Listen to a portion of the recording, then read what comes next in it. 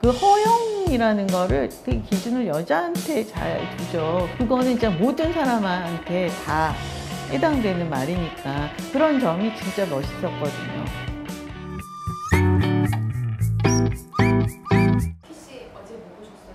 제가 젊은 시절에 만났다면 더 재밌게 봤을 것 같아요. 내 삶의 방향이 달라질 수 있는 그런 드라마입니다. www 검색어를 입력하세요. 줄여서 건블유라고 하는데요. 그 오프닝하고 클로징이 어, 미스 슬론이라는 영화의 표절이라는 얘기도 있는데요. 그거를 몰라서 썼을 것 같긴 같지 않아요. 그리고 뭐 속이려는 의도가 있을 것 같진 않고요. 그 알면서 다 봐주리라고 생각하고 쓴 것 같다는 생각이 들었습니다. 그 세 명의 여성이 등장하는데 사랑보다는 우정, 일 이런 거를 택하는 여자들의 얘기예요. 저는 거기서 기억에 남았던 장면이 베타미가 신입사원 여성을 데리고 미팅 현장에 나가요. 그런데 이 신입사원이 에코백을 가지고 나왔는데 에코백 끈이 망가졌죠. 그랬더니 되바라지고 같잖은 그런 웹툰 작가 한 명이 저 정도 명품백 하나도 제대로 못 살 저런 레벨의 사람에게 내 일을 맡기려고 하느냐 나는 싫다 막 이런 장면이 나왔어요. 그랬을 때 베타미가 임수정이 자기 그 명품백 에서 내용물을 다 꺼낸 다음에 백을 바꾸면서 그 명품백을 줘요. 그러면서 하는 말이 가지고 있는 게 없을 때는 과시를 하려고 하고 가지고 있는 게 많을 때는 감추려고 한다. 그러니까 지금 너는 이런 게 필요한 나이니까 기분 나쁘게 생각하지 말고 들어라 그런 것 같았어요. 그거는 진짜 모든 사람한테 다 해당되는 말이니까 남자들도 정말 귀담아 드, 들어야지 돼. 남자들 그 허세 많은 사람 진짜 많잖아요. 그 허용이라는 거를 되게 기준을 여자한테 잘 두죠. 그런데 남자들도 허용, 허세 진짜 심하지 않나요? 그래서 이 드라마는 어, 나이대로 뭐 남녀 차이에 따라서 보는 관점이 다 다를 것 같아요. 근데 이 프로그램이 시청률이 크게 높지 않았거든요. 근데 아마 남자들이 안 보는 것 같아요. 남자들 보기에는 불편한 구석이 많은 드라마죠. 근데 여기에 그 권혜호 씨가 바로라는 포탈 업체 대표로 나오는데 이런 중년 남성만 있다면 우리나라가 살만하지 않을까? 드라마에서만 볼 수 있는 남성이었습니다. 그러니까 젊은 사람들을 이해하고 존중하고 권위의식, 그러니까 흔히 말하는 꼰대 같은 느낌이 전혀 없어요. 그 여성에 대한 이해도 굉장히 높고 여성을 지지하고 그런 분이 진정한 페미니스트겠죠. 그런데 진짜 매력적인 사람은 이다희 씨예요. 거의 차현이라는 캐릭터인데 거기서 이제 막장 드라마 배우하고 연애를 하게 되는데 어머 이 커플이 너무너무 귀엽고 예쁘고 앞으로 어떻게 어떤 배우로 성장할지 정말 기대가 되는 그런 역할이었고 앞으로 지켜보고 싶은 마음이 들고 그 이다희 씨가 사랑한 그 막장 배우도 앞으로 지켜보려고 사랑하지만 그 사랑으로 인해서 일에 한 번도 차질을 준 적이 없어요. 그런 점이 진짜 멋있었거든요.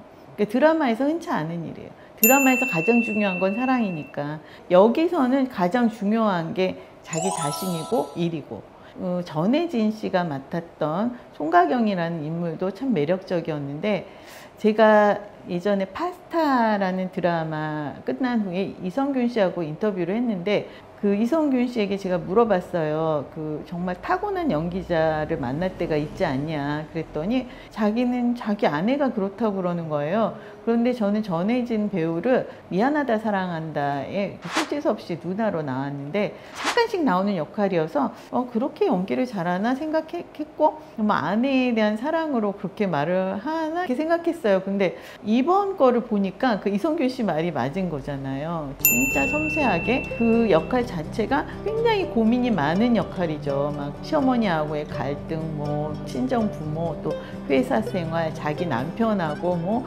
여러 가지를 표현해야 하는 힘든 역할이었는데 정말 잘 해냈죠. 전혜진 씨 시어머니 예수정 씨가 처음에 굉장히 어색하다는 말들이 많았거든요. 아무리 봐도 대기업 회장님 같지 않다. 그런데 이 분이 저력이 있는 것이 끝날 때쯤엔 그 회장님이 됐잖아요. 예, 그 연기자의 힘이라는 것이 정말 대단한 것 같다고 생각이 들었습니다. 한국 드라마는 가족 드라마하고 미니 시리즈하고 전혀 달라요. 미니 시리즈에는 부모가 나오는 일이 거의 없습니다. 부모가 뭐 해외 거주하거나 사망을 했거나 그래서 잘 살면 주상복합에 살고 못 살면 옥탑방에 살고 그런 설정이고 강압적으로 결혼을 권하는 경우 또 뭐 미생에서 나왔던 막 강소라 씨 아버지가 거기서 막 돈을 뜯으러 오잖아요. 그런 부모 정도로만 나오지 미니 시리즈에서는 부모가 거의 안 나와요. 그러니까 젊은이들이 그만큼 나이 든 사람과의 소통 접근 자체를 싫어하는 거죠.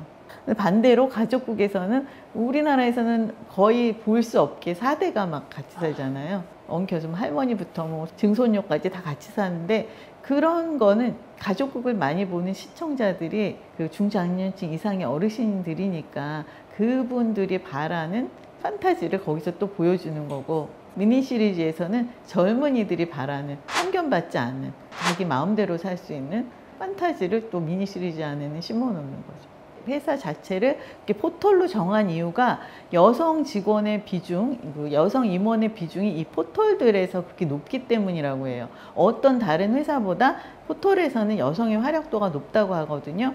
그 직급 간의 그런 뭐 위화감 이런 거, 괴리감 이런 것도 덜하다고 하니까 그래서 포털로 설정이 된 것 같아요.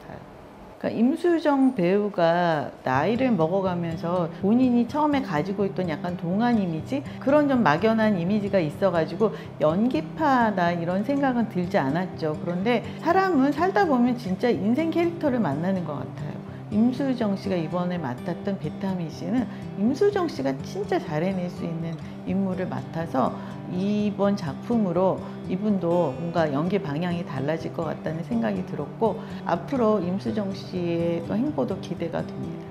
어, 제 딸은 직장 생활을 했기 때문에 직장에서 그 여성으로서 겪었던 그런 문제점들을 많이 알고 있죠. 그래서 그 갖고 있었던 아쉬움, 불만 이런 것들이 이 드라마를 통해서 해소되니까 지금 아기를 낳고 휴직하고 직장을 안 다니고 있는데 어, 직장에 다니고 싶어 하는 것 같아요. 뭐 성취감을 막 이 드라마를 통해서 느낀 것 같은데 그런 마음이 들 때마다 저는 너무 불안하죠.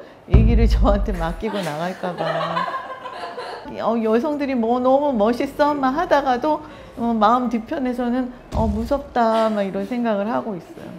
어, 작가가 진짜 준비를 오래전부터 꼼꼼히 잘 해온 것 같아요. 그래서 처음 그렇게 준비 많이 한 상태에서 나온 작품이 잘 되고 일을 하자고 해서 준비 없이 나왔다가 잘 안 되는 경우도 있어서 어떤 작품으로 돌아올지 모르겠습니다. 모르죠. 뭐 여러 개를 준비해 놓고 하나만 꺼낸 건지 모르지만 그랬으면 좋겠어요. 너무 마음에 들어서.